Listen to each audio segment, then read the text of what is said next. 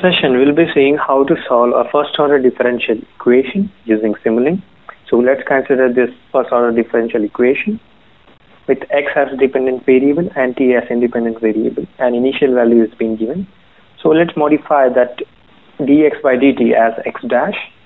So one thing to note is initial value we know and the final steady state value we can guess by putting that dx by dt as 0 and we can predict what what's the x value it will settle to.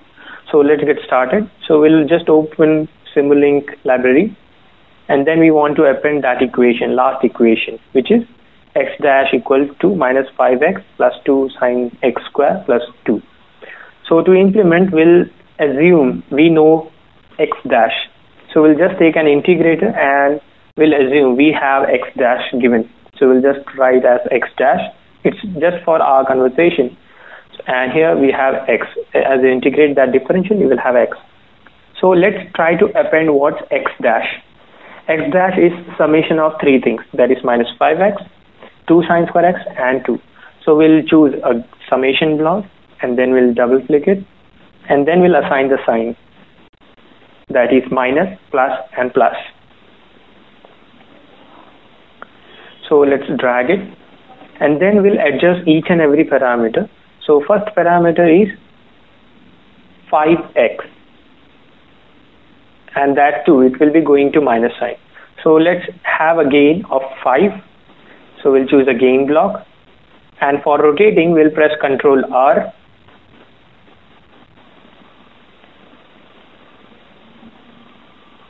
yes and then we'll connect it and we'll write it that gain as 5 and we'll connect it to x. So we'll drag in and then drop that and we'll connect it to minus sign and then we'll go for the next attribute or the next next part that is 2 so we'll be choosing a constant block and then connecting it to the plus and we'll assign it the value 2 and the last part which is a trickiest part that is 2 sine x square. So to append this will require a gain of 2 a trigonometric function sine and then x square which is a mathematical operation again. So we'll require three blocks over there. So we'll just copy it a gain block. You can just right click on the block and then drag it. It will directly get copied. So its gain should be 2 and let's serve to math operation and will require a trigonometric function 2 and a math function. So we'll just go to math function which will provide us x square like whatever value we'll given it will just square it and we'll rotate it and then we'll go to trigonometric functions. There we go. So whatever input we give it to that block it will just take that trigonometric functions. So let's connect a math function and then we'll connect it. So from this block we'll have x square. So let's adjust that square function. Yes that is. And then we'll connect it to sine. We want sine of that x square. So we'll connect it. So we have sine x square and let's scale it twice. So we'll have a gain of 2 so this is a simple differential equation solver block in Simulink. And for observing the output we'll have scope. We'll use scope block and we'll connect it to X which is our solution. So before simulating it, we'll first set the scope.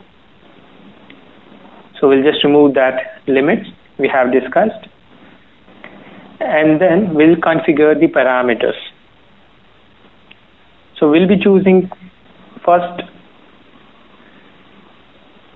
method like we'll be using Euler ODE1 which we say fixed step method it's one of the simplest way to understand it theoretically also. So we'll just choose a step size of let's say 0.001 and we'll reduce the stop time for time being and we'll set it to single tasking and then we'll apply and okay. And then we can simulate it.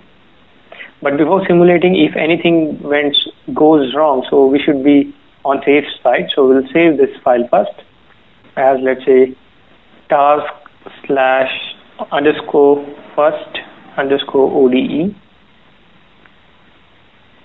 and now we can simulate the solution for this given differential equation but we haven't seen where to put initial value. So initial value will be coming over here in that integrator block and let's simulate it. We'll adjust the scope first and then we'll simulate it. There we go. So we have the solution and again whatever answer you have just don't blindly believe it. So we'll first adjust the X scale that is time axis scale to let's say 10 and then again simulate it. Yes it gets adjusted. So let's check whether the solution is satisfying or not.